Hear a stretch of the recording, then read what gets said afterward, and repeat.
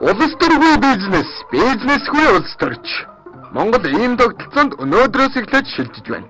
Учир юу гэвэл Улсын их хурл энэ оны 1-р сарын 19-нд нийтийн албан нийтийн болон хувийн сонирхлыг зохицуулах, сонирхлын зөрчлөөс урьдчилан сэргийлэх тухай хуулийг батлаж гаргасан. Авилгатай тэмцэх хууль гэж зарим хүний нэрлэж байгаа энэхүү хуулийн ач холбогдлыг чухалчиж үзэж их 7 дугаар сараас хэрэгжих байсныг Монгол улсын ерөнхийлөгч хориг тавьж хэрэгжиж эхлэх хугацааг нь наашлуулсан нь энэхүү хэрэгжиж эхэлж байна. Төвөгшөөхгүй бол жаахан нушший. Улс төрчид хэдхэн салбарыг голчлон анхаарч тэрнийг Монгол улсын үндэсний аюулгүй байдалд нөлөөлөх салбар учраас тэр гэж тодтогжгүйг бид өөр өөрсдийн элдэн хоёр чихээрээ олонтаа сонслоо. Ерөнхий сайдын танхим өнгөрсөн намар ийм маягаар Монголын тулгуур салбарт төсвөөс мөнгө олгосон. Үндэсний томоохон үйлдвэрлэгчид болох ноолуурын салбарыг дэмжихэд 100 тэрбум төгрөг олгож байлаа. Энгийнээр харахад энэ нь үнэхээр мэдээ болсон үйлдэл мэт. Тэдгээр хүүгүй зээл олгох 10 ноолуурын компани дунд ерөнхий сайдын маань алтай кашмир байсныг санаж байгаа байх. Магадгүй тэрний компани энэ салбарт тэргүүлэх зэрэглийн үүрэгтэй байж болно л доо. Гэхдээ ерөнхий сайдын бизнесийг дэмжих бодлогыг Монголын төр баримталж байгаагаас өөр зүйл юрдөө биш. Хэдийгээр үннийг тэрээр өөрөө санаачлаагүй. Хүнс хөдөө аж ахуй, хөнгөн үйлдвэрийн яамнаас санаачилсан байсан ч ийм шийдвэр гаргах нь шал утгагүй хэрэг юм. Тиймээс ерөнхий сайд оролцоогүй ч гэлээ тэрний хамсаатнууд оролцсон байж таарна. Тэр ч утгаараа энэ санаачлага дэмжигдэж татвар төлөгчдийн мөнгнөөс 100 тэрбумыг нь хүүгүй удаан хугацааны туршид зээлсэн юм. Гэхдээ өнөөдрөөс ийм зүйл үгүй болох боломжтой. Улс төргүй бизнес, бизнесгүй улс төрч. Монгол ийм тогтолцоонд өнөөдрөөс шилжиж байна. Шатууны үн гинт төслөө. Энэнийг дагаад нийт монголчуудын амьдрал дээсэн дөрөөн дээр дэмжигнэж эхэлсэн. Гол нь машиныхаа шатууныг авч дийлэхгүй. Нийтийн тээврээр зорчихдоо биш.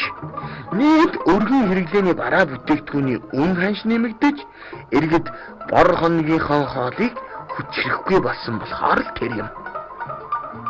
Энэ бас л учиртай. Энэний зохиомл үнэн хөөрөгдөл гэдгийг тогтоож шатуун импортлогчдод 10 тэрбум төгрөгийн торгуул навдуулсан юм. Харамсалтай нь энэ шийдвэрийг дараагийн дарга нь хүчингүй болгосон. Шалтгаан нь ердөө шатуун импортлогчдын ард улс төрчид байсантай холбоотой гэд шууд хардчихъя. Авилгатай тэмцэх газарт жил бүр өгдөг хөрөнгө орлогын мэдүүлгийг хараарай. Just Group-ийн ард улсын хурлын гишүүн эс баяраас эхлээд олон гишүүн байдаг. Нэг усны хувьцаа эзэмшдэг гэсэн үг л дээ. Монгол ардын хувьсгалын баг хурлын төлөөлөгч сод бэлэг гихтэл Петроус компаниараа өгөлдөг. Тэгвэл нийслэлийн иргэдийн төлөвчтэй урлын төлөөлөгч өргөө театрын эзэн Ананд базрын хамгийн том бизнес нь Сод Монгол гэдгийг надаар хэлүүлэхгүй мэднэ. Магнат рейд вэ? Цаашаа тоочд бүгдээрээ ард байзантай буух нэртэй газрууд. Хамгийн гол нь шатгууна дэлхийд байхгүй өндөр үнээр худалдан авдгийн учир нь ердөө улс төрчид бизнестэй хутгалсан явдал юм. Ердөө л юм.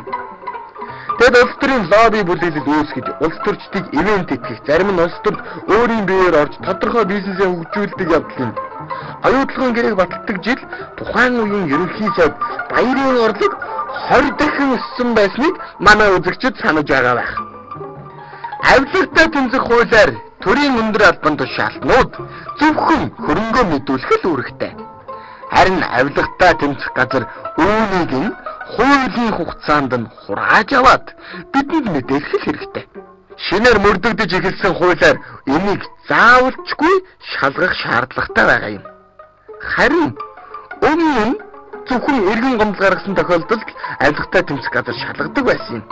Мэдээж тэрнийг авилга авсан эсвэл сонирхлын зөрчлөөр хууль баталж бодлого хэрэгжүүлснээр нь ашиг орлого нэмэгдсэн гэж үзэх бүрэн үндэслэлтэй ч хэрэг явдал асуудалгүй өнгөрүүлсэн юм.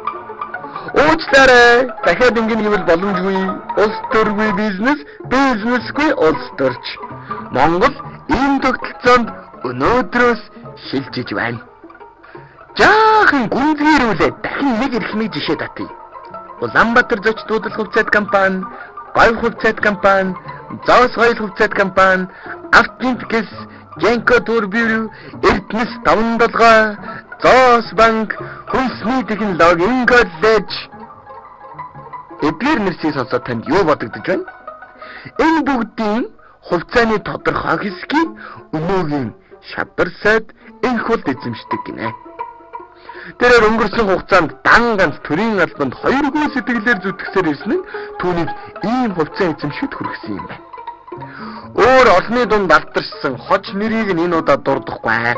Гэхдээ залангаас өөр орлогогүй байсан ихэн маань яагаад ийм их хувьцаа эзэмшдэг болчих вэ?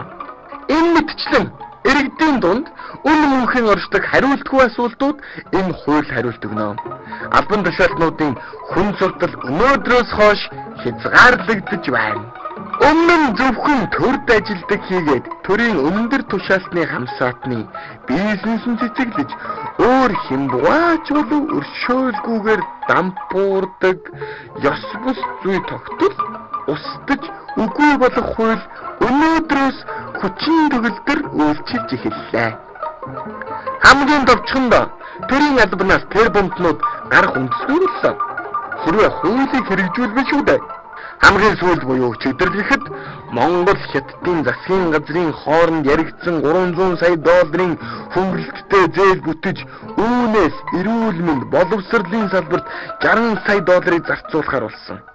Эрүүл мэндийн салбар 22 тэрбум авчихсан тул засгийн газар сонгуулийн амлалтаа биелүүлэх зорилгоор бүх багш нарыг зөвлөлийн компьютерээр хангахаар болж энэ ажлыг боловсрал, соёл, шинжлэх ухааны яамд даалгасан байна. Ингээд эмгэнэлт инээдмийн жүжиг эхлэх нь тэр.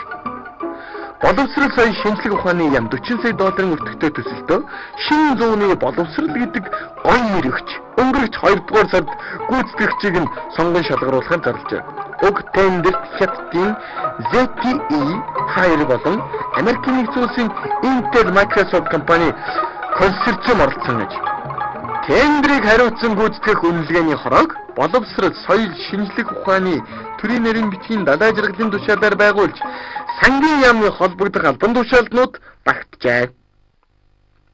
Үнэлгээний хороо оролцогчдын баримт бичгийг хянаж үзэж байх зур далай жаргал ахин тушаал гаргаж мэдээлэл харилцах холбооны газрын дарга Бат Эрдэнэийг нэмж оруулахын хамт хорооны ааш зан гэмт өөрчлөгдсөн гин. Энэ хаанаас болсон мэдээлэл вэ гэхээр Facebook-ээр нэг тэмэж явна. Энэхүү бодлоонтой тендер нь салбарын сайд Отгон баяртай холбоотой талаарч шуугиж эхэлсэн. Энэ мэтэр тамиг талаан харж тендерт давуу эрх олгодог олон нарбан үйлчлүүд өнөөдрөөс эхлээд стоп стоп болж байна. Засгийн газрын хэрэглэх газрын дараагаас эхлээд сайд эрхэм төрийн түшээдийн бизнес өнөөдрөөс эхлээд бусдын адил болох учиртай. Стигээс энэ хууль эргэлзээтэй хэрэгжиж байна гэж хардах үндслэлч бий болж болох юм. Үгүй ч гэж мэднэ. Ямар ч тач энэ хууль хэрэгжснээр тендерт авилга өгөх хэрэггүй боллоо гэж төрийн албан хаагч нар аюу тугай түмэн олон минь бишэр түгээ